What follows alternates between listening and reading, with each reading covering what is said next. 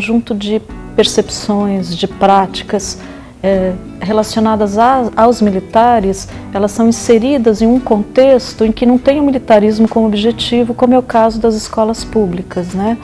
Essa, é, essa tendência já tem acontecido há alguns anos e ela atualmente existem escolas em mais de 22 estados brasileiros. Se divide a gestão da escola para a equipe de militares. Então, um oficial ou da Polícia Militar ou do bombeiro, ele ele assume a direção da escola junto com um conjunto de policiais, com um conjunto de militares.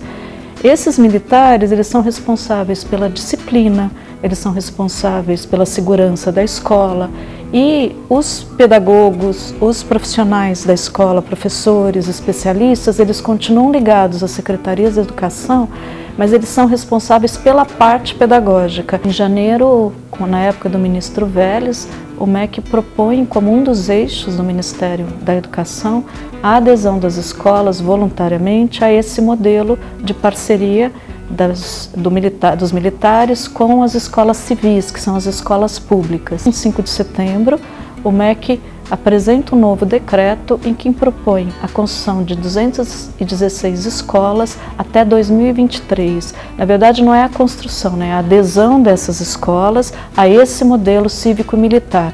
Para isso, ele está disponibilizando um milhão de reais para cada escola. A adesão é voluntária e precisa de participação, de aceitação daquela comunidade em que a escola está inserida. Parte das vagas é reservada para filho de militares. Tá?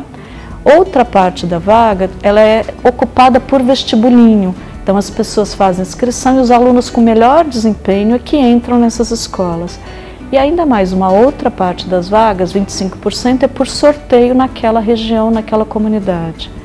Isso faz com que os alunos que lá estudam, eles têm duas características. Primeiro, um desempenho melhor do que os das demais escolas públicas, porque eles são selecionados a priori, e segundo, muitas dessas escolas, mesmo estando em bairros periféricos ou vulneráveis, elas não têm um nível socioeconômico baixo. Muito dos bons resultados que essas escolas conseguem não é por é, esforço próprio, por ensino de mais qualidade, é porque ela já tem condições diferenciadas, condições prévias que se as demais escolas do país também tivessem, com certeza nós teríamos um outro resultado.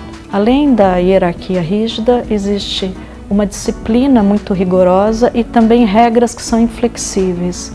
Esse, a escola toda ela passa a ser organizada no sentido de que não são os alunos que participam da discussão, da elaboração de regras, uma escola de escuta, uma escola de envolvimento desses jovens na gestão da convivência de sala de aula. Ao contrário, quem vai cuidar de tudo isso no sentido de impor a regra e cuidar das punições passam a ser, é, passa a ser a polícia, passa a ser os militares. E alguns deles, inclusive, vão armados para a escola. Estamos falando de pessoas que devem participar das decisões que elas devem obedecer uma regra quando elas entendem a necessidade delas existirem.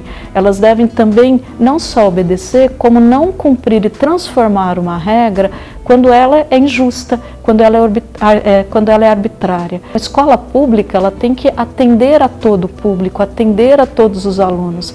Esse tipo de escola, ao contrário, ele vai trabalhar apenas com aqueles que se submetem.